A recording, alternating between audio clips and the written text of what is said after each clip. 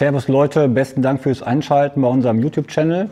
Heute gibt es wieder frische neue Schuhe. Das Jahr ist noch relativ jung und ja, es gibt tolle neue Modelle für euch.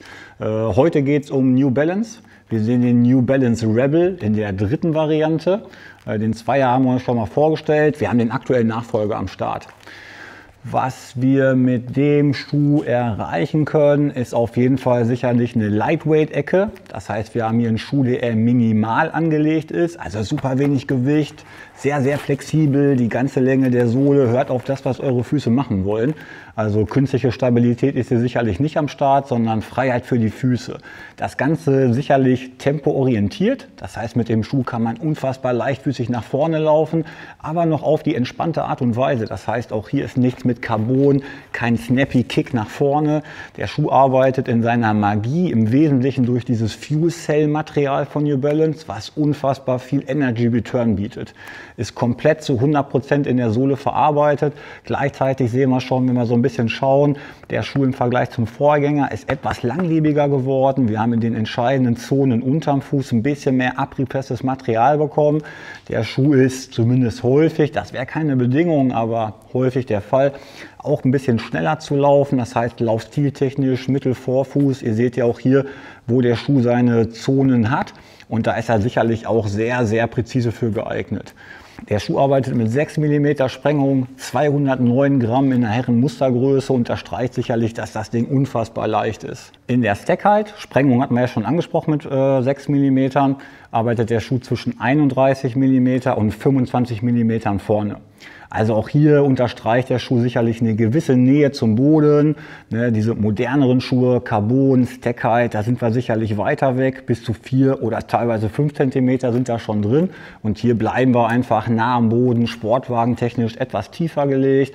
Und wie gesagt, die ganze Performance des Schuhs entwickelt sich aus dem Dämpfungsmaterial. Was sich verändert hat im Vergleich zum Vorgänger, sind eigentlich nur kleine Details. Auf der einen Seite hat der Schuh zwei Millimeter mehr Höhe bekommen, also wir haben schon insgesamt ein bisschen mehr Dämpfungsvolumen. Äh, der Schuh hat mehr Außensohlenmaterial bekommen. Beides macht den Schuh ein wenig schwerer. Es sind allerdings nur vier Gramm mehr, obwohl wir zwei Millimeter mehr Sohlenmaterial verbaut haben. Und das ist im Kontext sicherlich ja, überhaupt nicht spürbar, dass man da auch nur ein Gramm mehr mit sich schleppt. Ganz im Gegenteil, der Rebound-Effekt macht einem sicherlich spürbar, zumindest im Gefühl, dass der Schuh an Gewicht eigentlich verloren hat. Und das ist einfach diese Performance im Sohlenmaterial. Obenrum zeigt der Schuh sich auch sehr easy und unkompliziert. Auch hier ist keine feste Fersenkappe drin. Der Schuh glänzt durch Leichtigkeit, Luftigkeit im Obermaterial. Auch hier ist jedes Gramm, was nicht nötig ist, äh, zu viel. Und das wollen wir natürlich hier entsprechend dem Modell auch in dieser Lightweight-Ecke lassen. So ein paar Keywords für das Modell sind sicherlich Leichtigkeit, Bounzigkeit und Flexibilität. Und das ist das, was den Schuh im Vergleich zu vielen anderen, die heute natürlich modern aufgebaut sind, sicherlich nochmal ein Alleinstellungsmerkmal gibt und vor allen Dingen wieder auch hier viel Lauffreude vermitteln will. Also bei modernen Schuhen reden wir ja nicht nur davon, dass die funktionieren und passen sollen, sondern dass einfach das Ding viel, viel Freude pro Schritt macht und das ist sicherlich ein Kandidat, der das sofort spürbar an die Füße bringt. Ob dieser Schuh auch für euch was ist, ja, wir finden das furchtbar gerne mit euch gemeinsam raus. Dafür sind wir da. Das heißt, auch da, wenn da Fragen sind, sind. Wenn ihr euch fragt, ist das ein guter Schuh für euch? Vergleiche können da immer sinnvoll sein. Ne, allein mit der Überschrift New Balance gibt es ja sicherlich Geschwistermodelle, höher, tiefer, was man sich da anschauen kann. Aber den Rebel wollten wir euch heute erstmal vorstellen. Wie gesagt, in der V3 die neueste Entwicklung. Und ja, ich freue mich, wenn der Schuh euch heiß macht auf mehr.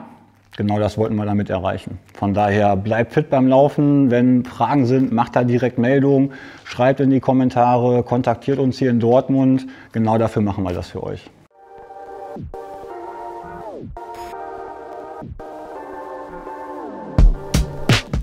So Leute, wenn euch das Video gefallen hat, dann einfach hier unten abonnieren, weil dann verpasst du das nächste Video nicht.